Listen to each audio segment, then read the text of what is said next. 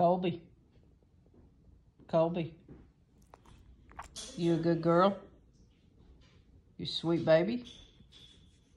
You sure are. You have beautiful white eyelashes.